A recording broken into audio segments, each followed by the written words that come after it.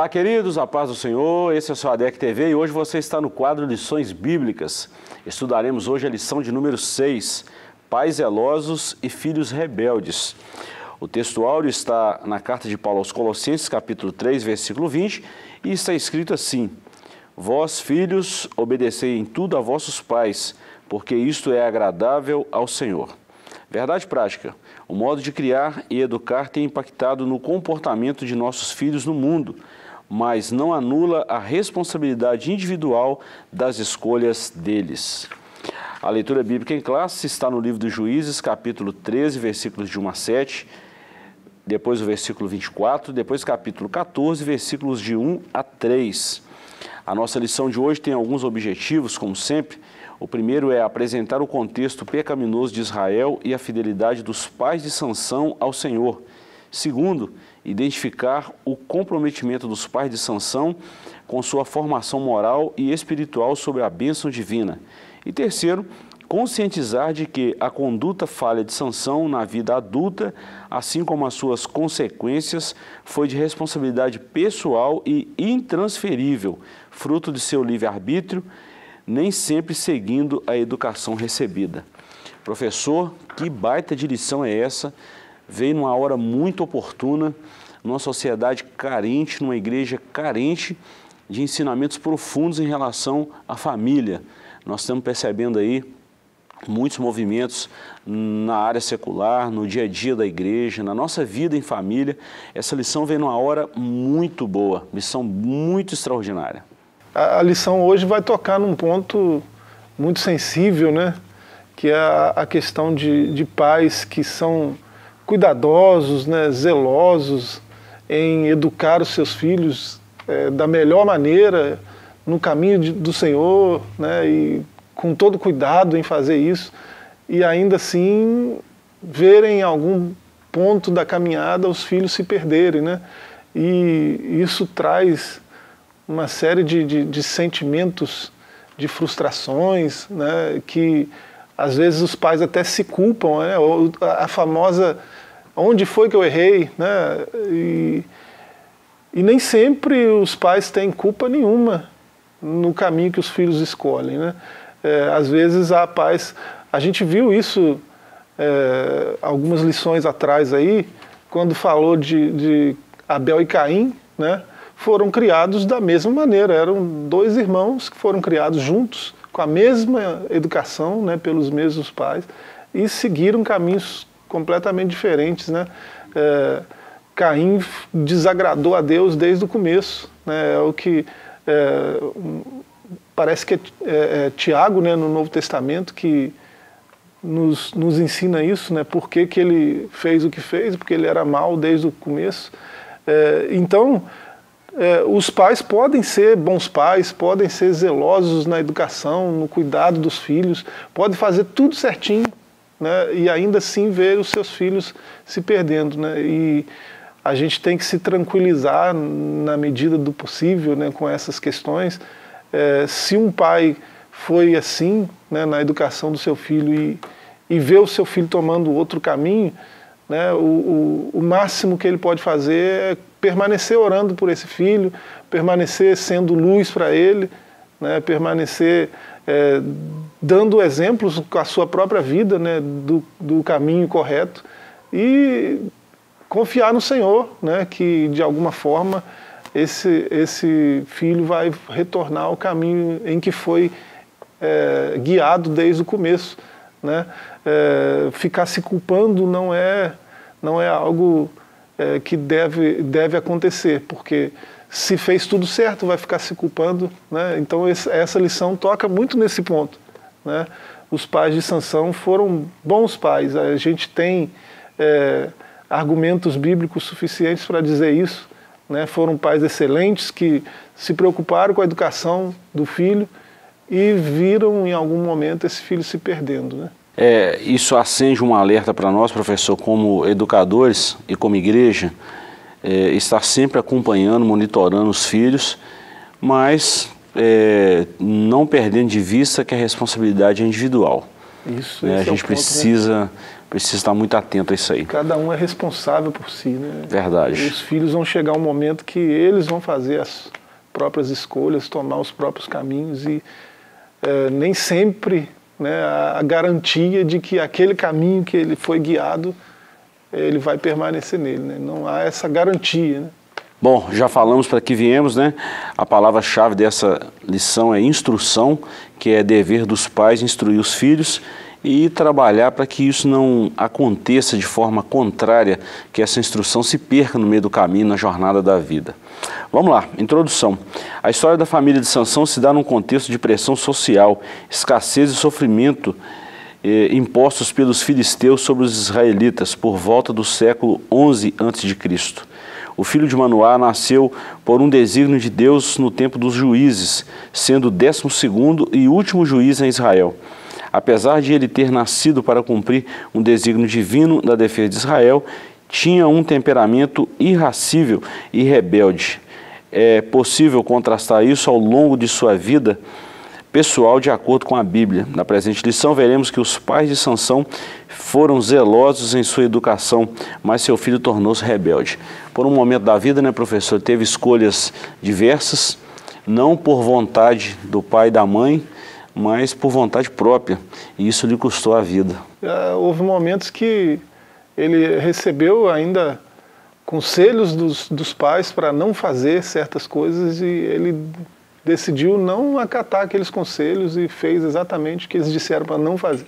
A gente vai ver isso aí na lição. Né? E ele teve problemas com isso. Né? É, a, a, regra né, que está lá é, na Escritura é Êxodo 20, verso 12, né? É, que, é, que é honrar pai e mãe, né? um mandamento. É, o primeiro com promessa, né, como o apóstolo Paulo fala, é, honrar pai e mãe para que se prolonguem os dias na terra. Né? Honrar os pais é, traz prolongamento da vida. Né? Então é, é, é, uma coisa que, que está presente né, na, na, na, vida de todo ser humano. Quando, quando um filho honra um pai, né, ele, ele está plantando coisas muito positivas para si mesmo. Né? Então, é, escolher deliberadamente, né? não acatar um conselho útil, bom, né? não é qualquer tipo de conselho também, mas um conselho bom, né? reconhecidamente, comprovadamente bom. Né? E desprezar isso e, não, a vida é minha, eu faço o que eu quero, e tem filhos assim, né? isso vai trazer problemas e vai encurtar a vida, né? o caminho inverso da promessa lá de Êxodo 20. Bom, professor, nós já falamos aí da nossa introdução, da nossa palavra-chave, dos objetivos. Vamos então ao comentário da nossa lição. A nossa lição está dividida em três capítulos. O primeiro capítulo, os pais de Sansão. O segundo capítulo, o nascimento de Sansão e a sua formação. E o terceiro e último capítulo, a fraqueza de caráter de Sansão. Essa lição é extraordinária, já falamos aqui desde o início. Vamos lá. O primeiro capítulo está dividido em três subtópicos. O primeiro, uma situação espiritualmente deplorável uma mulher agraciada e recebendo orientações divinas. São os três tópicos aí desse primeiro capítulo. Capítulo 13 de Juízes mostra que os filhos de Israel tornaram fazer o que parecia um mal aos olhos do Senhor. Por isso, Deus entregou Israel na mão dos filisteus por 40 anos. Era um contexto em que o povo vivia na prática do pecado, onde poucas famílias temiam a Deus e procuravam guardar os seus mandamentos. Entretanto, havia uma casa fiel ao Eterno que recebeu uma visita do anjo do Senhor. Professor, parece muito peculiar na história do juiz que durou aí um período entre 400 e 430 anos, mais ou menos. A gente viu um ciclo vicioso. O povo saía da vontade de Deus, ele virava as costas para o Senhor. Deus permitia que o inimigo afligisse o povo. O povo pedia perdão, Deus levantava um juiz vivia um tempo de paz, depois o povo voltava à mesma prática pecaminosa. Isso foi durante um ciclo aí de entre 400 e 430 anos mais ou menos, 420 e 430. Foi um período assim tenebroso para Israel, mas Deus sempre teve os seus remanescentes. A família de Sansão foi uma dessas, né? Sim, é, é você vê aí pelo contexto aí do capítulo 13, né, que a situação nacional, né, é de uma de uma desmoralização generalizada. Né? É, o, o, período em que Sansão foi juiz foi um período diferente, né? diferenciado, porque é, essa desmoralização houve em todos eles, mas nessa época aqui você vê pouquíssimas famílias e uma né, escolhida, que é a família de Manoá, é, ainda mantém algum contato com o Senhor. Né? O, povo, o povo estava sob domínio dos filisteus e o povo já, já estava. É, já tinha virado as costas para Deus, né? não buscava mais a Deus. E Deus encontrou essa família aí. Né? Então, é, o próprio, a própria escolha de Sansão como juiz é diferente, diferenciada da, dos outros doze. Né? Você vê os outros 12 juízes, eles, é, eles foram chamados já na maturidade, eles já eram maduros, já eram, né, quando foram levantados como juízes. É, isso, ele começou a exercer esse papel, a desempenhar esse, esse ofício, ele já era maduro sim, mas ele foi escolhido aí desde antes de nascer, né, para esse ofício. É, então é, é, um chamado diferenciado, chamado de sanção. E a sua trajetória, o seu período também é diferenciado de todos os outros, né? É, você vê os outros 12 juízes, todos eles tiveram algum tipo de apoio externo, né? Alguma pessoa importante na, na, na, na nação de Israel, né? Ou algum grupo importante, é, alguém engajado na causa nacional, né? Acabou apoiando aqueles juízes. Sansão, em toda a trajetória dele, foi sozinho. Né? Ele foi um juiz solitário. É, e eu não sei se é por conta do, do temperamento dele, não sei porquê, né? mas ele foi um, um, juiz solitário. Isso é outra coisa que diferencia dos outros juízes. Mas é, esse ponto aqui, da, da, do primeiro tópico aqui da, da lição, é sobre a situação nacional. Né? O povo não quer saber de Deus e o povo está já há um período bem extenso né, sob domínio dos filisteus. Então a situação é, é complexa, complicada e o povo nessa situação deveria buscar a Deus porque é o que é o que estavam fazendo, né? Desde o do primeiro capítulo de Juízes você vê esse padrão. E nesse caso aqui o povo continua com as costas viradas para Deus. Nesse contexto todo, professor, um anjo aparece ao casal. Primeiro aparece a mulher e depois aparece ao, ao marido, aos dois juntos, né? Essa mulher agraciada. O casal era formado por um homem chamado Manoá, da tribo de Dan, e sua esposa que era estéreo. Essa informação nós temos aí no capítulo 13, o versículo 2. Foi para essa mulher que o anjo do Senhor apareceu, dizendo: Eis que agora és, és estéreo e nunca tens concebido, porém conceberás e terás um filho. Dessa forma, a mulher de Manoá surge no cenário do livro dos juízes, escolhida pelo Senhor para ser mãe do remidor de Israel. Sua história é semelhante à de Sara, Rebeca, Ana, que tiveram esterilidade revertida para gerar vidas que desempenhariam uma função importante para a glória de Deus. Sob uma fé inabalável, a mulher de Manoá, devido ao favor gracioso de Deus, geraria um filho que libertaria o povo judeu do jugo dos filisteus. A história de Sansão é uma história, é uma das mais lidas no Antigo Testamento. É uma história muito bonita, apesar de ter um final triste, né, da sua morte, mas há muitos relatos, muitas lições que nós podemos extrair. Uma delas é essa aqui sobre a mãe de Sansão, a mulher que teve a visita do anjo do Senhor, a gente já falou desse papel teofânico desse anjo, né? É, a mulher que perguntou o nome dele, ele respondeu: Por que pergunta o meu nome, sendo que meu nome é maravilhoso? Depois, mais tarde, a gente vê Isaías citando quem seria, quem teria esse nome de maravilhoso.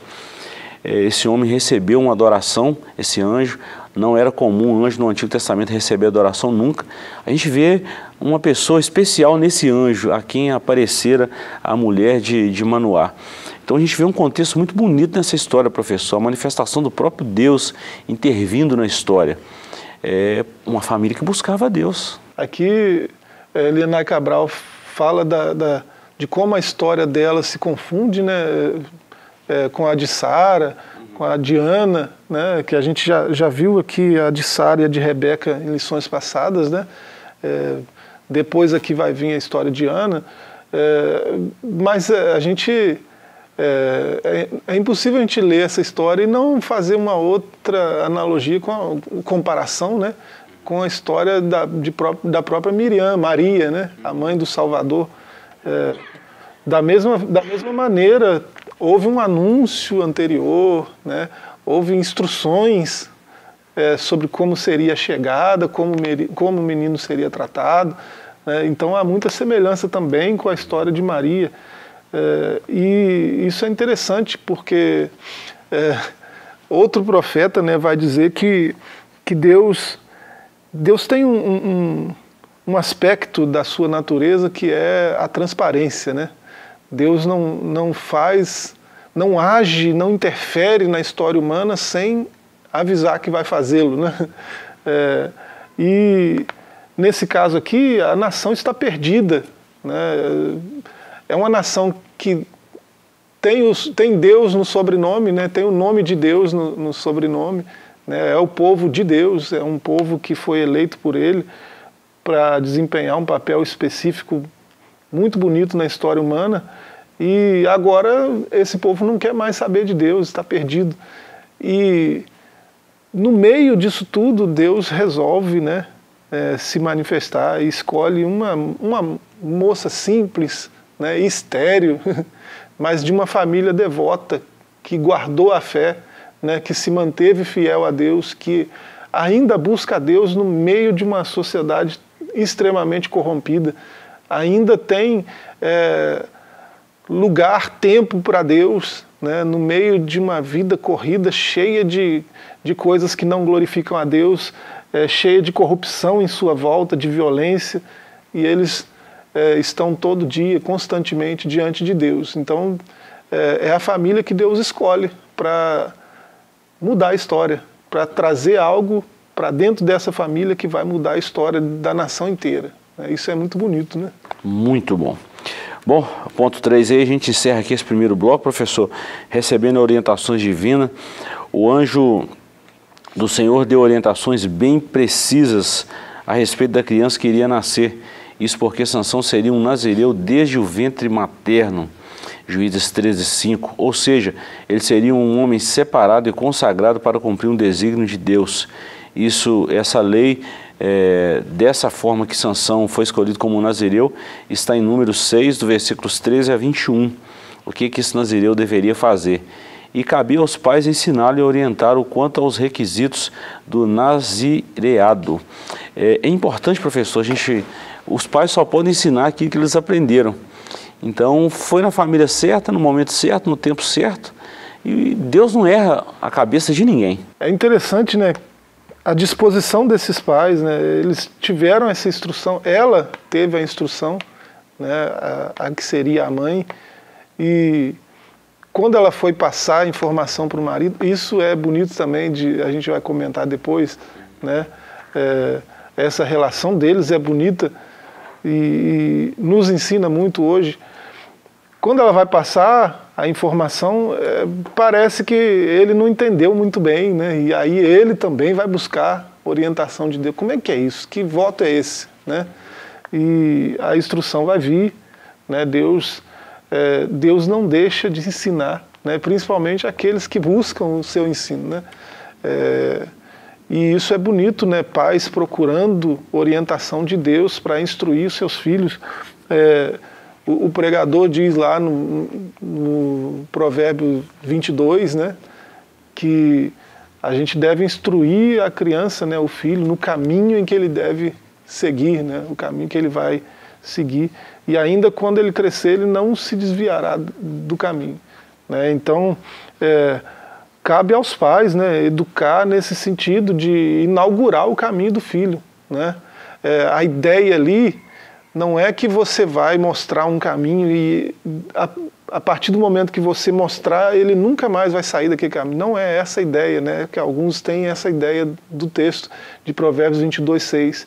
A ideia ali, se você fizer uma, uma análise, uma exegese mais precisa do texto, é que os pais é, vão com o menino no caminho, vão com a criança no caminho, inaugurando o caminho que vai ser o caminho dele. Né? É, eles, servem, eles servem de guia para um caminho que é, pode ser escolhido por, por, esse, por essa criança. Né? Então eles vão inaugurar, vão apresentar o caminho para ele. É, cabe a responsabilidade individual, né, permanecer no caminho que foi ensinado. Então, é, buscar a orientação de Deus para fazer isso, né, eu tenho essa responsabilidade, educar o meu filho, guiar ele no caminho que vai ser o caminho dele para o resto da vida dele. Então, eu tenho a responsabilidade de inaugurar esse caminho, de mostrar qual caminho é esse. Né, uma responsabilidade tanto, muito grande. Né, é, e buscar a orientação de Deus para fazer isso é bonito, porque num contexto nosso, por exemplo, Brasil, né, é, você vai até para nossa legislação, esse papel que sempre foi dos pais de educar as crianças, né, de educar os filhos, esse sempre foi um dever, um papel dos pais em todas as sociedades que você é, que são conhecidas, né, pela sociologia hoje, é, sempre foi papel, dever dos pais. Hoje, no Brasil, por exemplo, a nossa legislação tirou dos pais esse, esse papel, esse dever e colocou no Estado. Né? É, hoje, no Brasil, por exemplo, é dever do Estado prover educação para as crianças. Né? E nós estamos vendo aí os reflexos disso. Né? É, Tirou-se uma responsabilidade que era dos pais para transferir para o Estado. Né? É claro que a Constituição vai dizer que é dever do Estado com a ajuda, o apoio dos pais e da sociedade, mas o, a primazia está com o Estado. E a gente sabe, no nosso contexto, que o Estado nem sempre faz as coisas muito é, bem feitas, né? É, só você ir para uma fila aí na Caixa Econômica você vai entender que, do que, que eu estou falando. A fila do SUS, nem Deus que nos livre, né? É, então o Estado não costuma fazer as coisas bem feitas. Então, tomar uma coisa de, tão importante dessa, educação das crianças, dos filhos, tomar para si, o Estado tomar para si essa, é, esse dever, foi um erro que nós é, precisamos reparar. Não sei como fazer isso, porque né, a coisa está de um jeito que acho que não tem muito o que fazer, né, porque não há meios de reverter isso é, a curto prazo. Então, a, a, cabe a nós, pais, né? termos mais cuidado ainda, fazer mais ainda isso que Manoá fez, que buscar a orientação de Deus, porque não está fácil. Né? Mandar os filhos para a escola hoje é um suplício. Né? A gente manda sofrendo, a gente fica em casa sofrendo, fica no trabalho sofrendo, né? orando, intercedendo o tempo todo, porque nossos filhos estão lá. Né? A gente precisa do apoio de Deus, da ajuda de Deus para isso. Eu costumo dizer que nós precisamos agir com muita sabedoria, como a mãe de Moisés fez. É betumar o, o cestinho lá por dentro e por fora. É, isso faz isso. parte de ensino, faz parte de cuidado espiritual. Nós vamos para um breve intervalo e voltamos já já com a segunda parte dessa lição maravilhosa que estamos falando sobre família.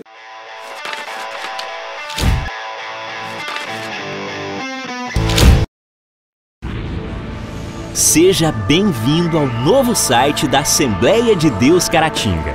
Agora ele está completo para você acompanhar bem de perto tudo sobre nossa igreja. Nele você encontra um pouco de nossa história, onde nós estamos, nossos horários de cultos e endereços de nossas filiais. E ainda você poderá fazer seu pedido de oração, sua contribuição, acompanhar nossas notícias, entrar em contato conosco e muito mais. Mais uma forma de você acompanhar tudo o que acontece na Assembleia de Deus Caratinga, de onde você estiver. Acesse agora assembleiadedeuscaratinga.org. Uma verdadeira história de fé, renúncia, desafios e conquistas. Você irá se emocionar e extrair lições extraordinárias da biografia de um dos mais expressivos líderes do movimento pentecostal no estado de Minas Gerais. Recomendada por influentes líderes cristãos. Adquira agora mesmo Ari Coelho, um legado de fé e descubra detalhes de uma história de vida que pode transformar a sua. Um produto com a qualidade CPAD.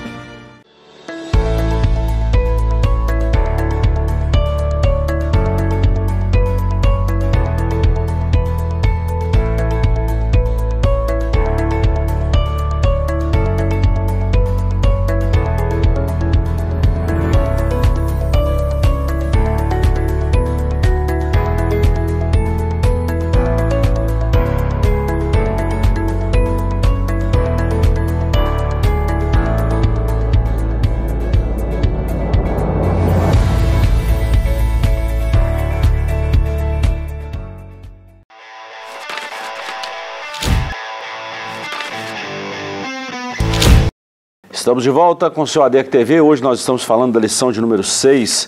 Essa lição nós estamos tratando aí sobre é, um tema importantíssimo quando falamos em família. Nós estamos falando de pais zelosos e filhos rebeldes. Professor, nós encerramos o primeiro bloco falando aí da, desse papel importante da qualidade do ensino, né? É, você frisou muito bem aí sobre a responsabilidade do ensino, que hoje na nossa Constituição é de responsabilidade do Estado e quando na verdade, biblicamente, a responsabilidade de ensino, isso começa lá no núcleo principal, a célula principal que é a família. Então, os pais não podem transferir, não podem terceirizar o que é responsabilidade deles. Isso nós estamos falando num contexto assim bem familiar, bem bíblico, né? Vamos deixar isso claro. É, é, claro que o Estado tem responsabilidade no ensino, tem no ensino de escrever, de ensinar, fazer contas e etc, etc. Isso faz parte do ensino.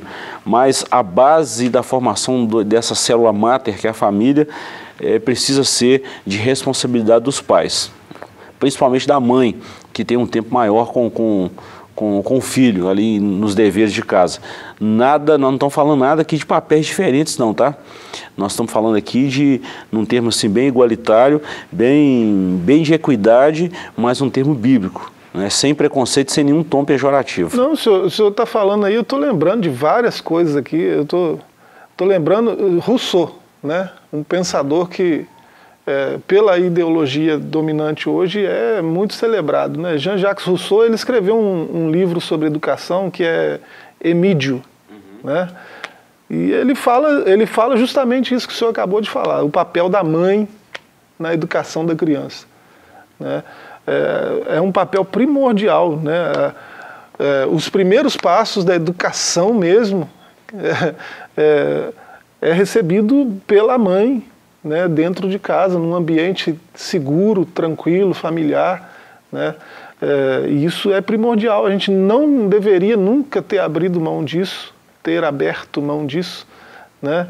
É, e, e, no entanto, a gente fez e nós estamos vendo o reflexo disso agora. Né? Se há um caminho de volta, a gente precisa descobrir que caminho é esse e tomar imediatamente esse caminho. Né? Para voltar à normalidade. Né? Crianças bem educadas, prim, primeiramente pelos pais, né? que os pais tenham de volta a primazia na educação dos filhos, é, é algo que a gente sonha para a nossa nação é, hoje. Você estava comigo nessa visita e você ouviu a mesma coisa que eu ouvi. Eu acho que é muito pertinente a gente trazer isso à tona agora, dentro desse contexto aqui, o quanto nós, igrejas, estamos sendo criticados por essa questão de ensino. E o quanto as pessoas querem tirar Deus do núcleo de qualquer coisa, seja da família, seja da escola, seja da sociedade, seja de qualquer projeto né, que se desenvolve. É, eu sei que uma lição como essa traz muita coisa à tona e a igreja é muito bravamente, duramente criticada pelos seus ensinamentos, principalmente no contexto familiar, num, num posicionamento como esse. Nós somos criticados, mas não importa. É, a crítica está aí, né? E a gente sabe isso também, isso não pode ser algo relevante no quesito ensino, é, isso não pode atrapalhar, mas a gente sabe a importância disso para a família. É, não, uma, lição dessa, a importância de uma lição dessa é, é imensa, porque é, há uma sutileza né, nesses ataques do inimigo contra a primazia da família, né? Há uma sutileza é, e, e assim muitos pais cristãos, muitas famílias cristãs têm se rendido a esses ataques sutis, né? Porque são convencidos de que não, o lugar de Deus é só lá na comunidade religiosa, no momento do culto. Né? Para que você precisa de Deus no trabalho, você precisa de Deus na escola, para que isso? Né? E, assim, alguns são até convencidos disso, o Estado é laico né, e tal. O Estado é. Né? É, as pessoas que, que estão vivendo nesse Estado não, não são. Né? A grande maioria é religiosa. E não são só cristãos, são religiosos. Né? Tem a liberdade garantida, a liberdade de culto pela, pela própria Constituição. É, então a gente precisa ter cuidado com isso. Ah, e assim, o nosso público aqui dessa, desse programa, né, da EBD, é cristão, né? É, e assim, se a gente tem algo a dizer para os cristãos é, que estão ouvindo, né, alguns nos ouvem, é, cuidado, né? Cuidado para não, não, não ser iludido por essas sutilezas, né? É, e abrir mão muito facilmente de algo que é dever nosso como cristãos. Né? Eu, eu falo pensando naquela mãe que terceiriza em tudo a educação do filho. Né? É, no contexto nosso, é, até, até no ambiente de culto, chega no culto já procurando a professora, a tia da escolinha, né? para se livrar logo. Do, parece que é essa a ideia. Né? Eu, quanto mais longe do meu filho eu tiver, melhor. E não, não, não, tá devia, não devia ser assim. Né? E aí, se essa é a atitude num ambiente de culto, imagina. Em casa, né? né? Está o tempo todo descartando. E isso vai trazer prejuízo. Que caminho esse menino está tá, tá tá conhecendo? Que caminho está sendo apresentado para ele? Um caminho de rejeição né? e de coisas é, horríveis que vêm com isso. Né? Isso mais tarde vai trazer um reflexo muito negativo. É, deixa eu ler aqui alguns pontos aqui, professor. Eu não vou ler esse capítulo segundo aqui, porque nós já falamos muita coisa dentro do capítulo primeiro aqui, para a gente ganhar tempo, e eu quero trazer uma, uma, uma, um questionamento aqui à tona. O nascimento de Sansão e sua formação, também em três tópicos, em três subtópicos aqui. O nascimento e desenvolvimento de Sansão, a família de Sansão e a formação dele. É, quem quiser ler melhor, está do capítulo 13 a 16 aí de, de Juiz, né? É, é, uma, é uma, uma citação muito legal disso aqui. É, nós já vimos aí também que os pais de Sansão foram fiéis às orientações do Senhor sobre a criação e nazireado do filho. É, nós vemos aí, professor, a, a eu, eu, quero trazer isso à tona porque isso é muito importante. É, como ensinador, como, como pastor da igreja hoje, a gente, a gente depara com algumas situações que hoje meninos aí de 6, 7, vamos colocar até 10, 11 anos aí, eles estão impondo aos pais o que fazer. A gente já tratou muita coisa, muito assunto assim, bem perto da família, assim. Por exemplo, o menino chega, não, hoje eu não quero ir para a igreja, hoje eu não quero fazer isso. E os pais cedem a isso. Ou seja, os pais estão ouvindo os filhos ao invés de ser o contrário. Isso, isso, isso futuramente traz um reflexo muito negativo na igreja, na sociedade em que essa igreja está inserida e no contexto do Estado também, porque está criando uma geração muito, muito flácida ou, ou muito sensível ou muito insensível às orientações de Deus, da família e da Bíblia e da própria sociedade. Porque se os pais não tiverem esse papel, a responsabilidade no ensino, o que, que isso vai ficar impregnado nos filhos? A ideia sobre educação de filhos que, que é mais recorrente hoje é a, a ideia montessoriana, né, que tem suas ramificações aí, chegou-se a, a, Hoje é conhecido como educação positiva, né? Os filhos são criados quase com zero de regras, né? É, com uma liberdade total, como se eles fossem capazes de desenvolver uma autonomia por si mesmos. Né? Eles vão aprender a ser autônomos nas suas decisões a partir do que eles observam nos pais. E aí, para isso, as regras são essenciais. E há, há pessoas ensinando que as regras são desnecessárias. É, não, não há nenhuma consequência para nenhum tipo de ato da criança, seja positivo ou negativo. Né? É, tudo que a criança faz está correto, né? é justificável. Né? A criança deu um tapa na cara da mãe. E isso se repete o tempo todo. Aí vai vir alguém que defende essa linha, né? vai dizer, não, o que acontece é o seguinte, ela ainda não tem as condições para avaliar o que ela está fazendo, é, e aí ela está sofrendo alguma coisa, e esse sofrimento, esse medo, está gerando um bombeamento de sangue para as extremidades. Aí o braço dela, meio que de forma involuntária, foi contra a face da mãe. Poxa vida, né? É, é isso mesmo que aconteceu? Né? É, não, birra, birra não existe. Né? Isso é só um mecanismo, é a única coisa que a criança tem para se comunicar e tal. Tá é, os antigos tinham outro nome para isso, né? Birra não era nem chamado de birra, é, tinha outros nomes piores. Né? Então, é, a gente precisa, como pais, como educadores, ter cuidado. Existe ao seu valor, né? Esse tipo de educação tem ensinos muito valiosos, né? É, mas a gente não pode se deixar levar por tudo que a gente ouve nesse sentido. Né? A nossa própria intuição diz que é, algo, algo nesse ensinamento não, não está correto, pela forma que a gente aprendeu também.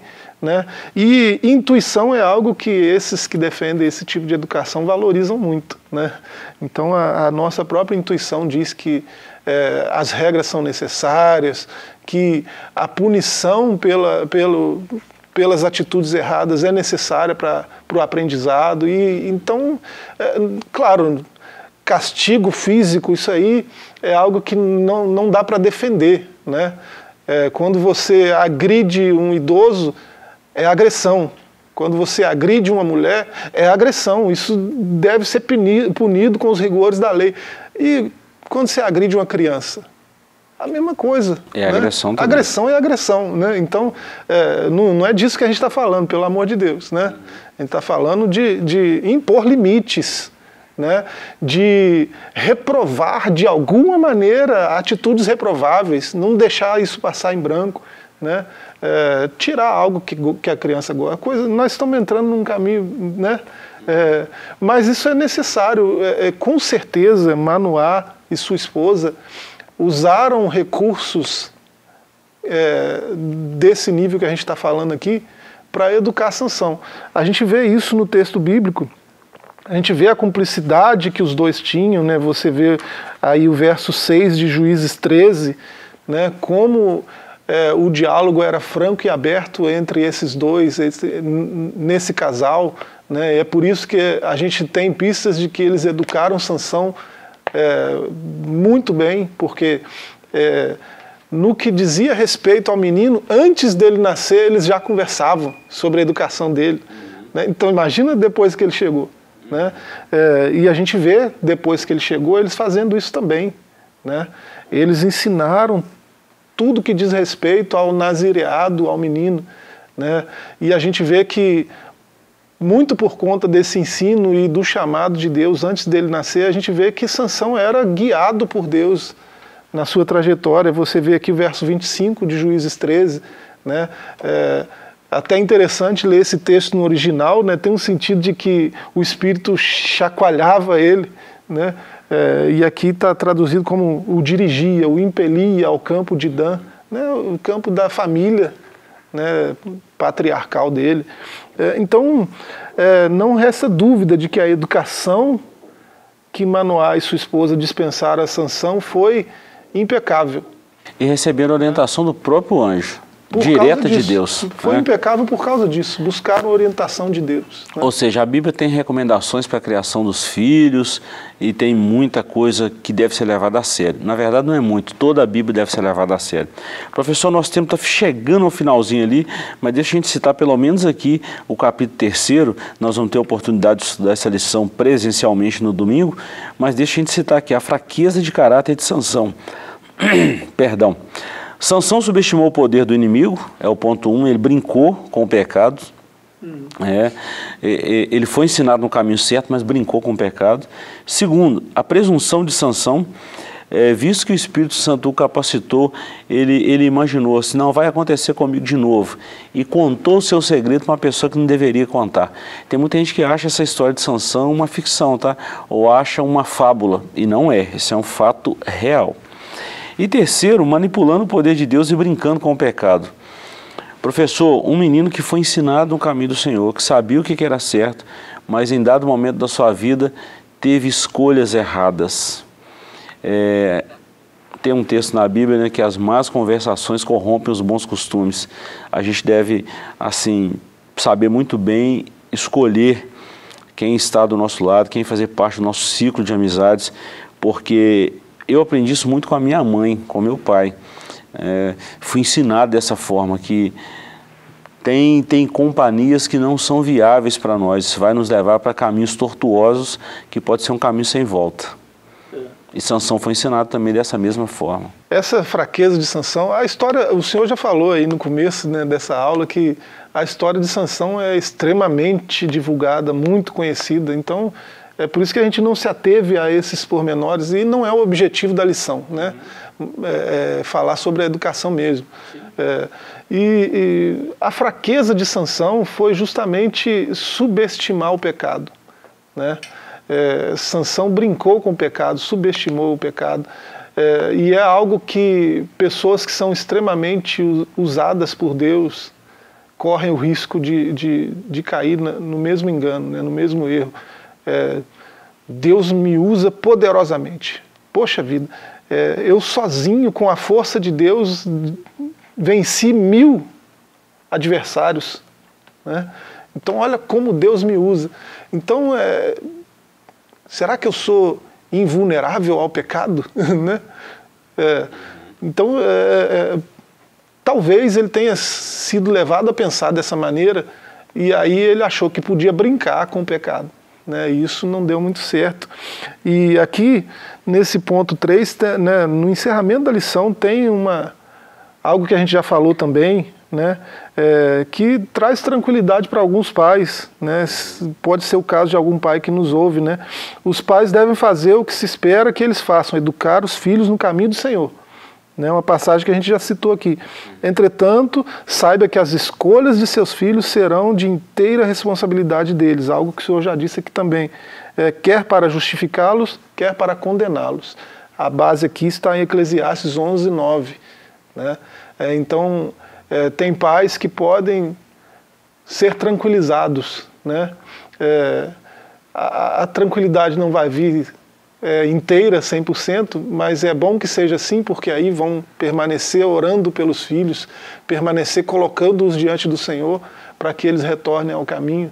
Né? Mas é, fica tranquilo quanto à responsabilidade. A responsabilidade pelo caminho que eles escolheram é deles. Né? É, então, é, a responsabilidade dos pais é só apresentar o caminho para eles, né? E que já é uma responsabilidade muito grande. Nós estamos encerrando aqui, obrigado, professor. É, deixa eu só dar um, um, um, fechamento aqui, professor, algo muito importante na nossa lição, tem um auxílio da vida cristã. Eu achei essa frase sensacional. Não se apavore, a colheita não se perdeu. É, de repente um Amém. pai ensinou o filho, fez tudo que tinha de fazer e hoje o filho tomou uma decisão errada, um caminho errado, fez uma escolha errada. Não se apavore, a colheita ainda não se perdeu. Nós ainda temos o privilégio, a oportunidade, o dever de estar orando, acompanhando os nossos filhos em oração, confiando no poder de Deus e confiando naquilo que foi ensinado desde criança para os nossos filhos. É, Deus te abençoe e te guarde, que os nossos filhos sejam bênção na mão do Senhor e que nós tenhamos a responsabilidade de sempre estar ensinando aquilo que é certo, tá bom? Fique na paz, até a próxima lição, se Deus nos permitir, e voltaremos com mais um conteúdo bíblico.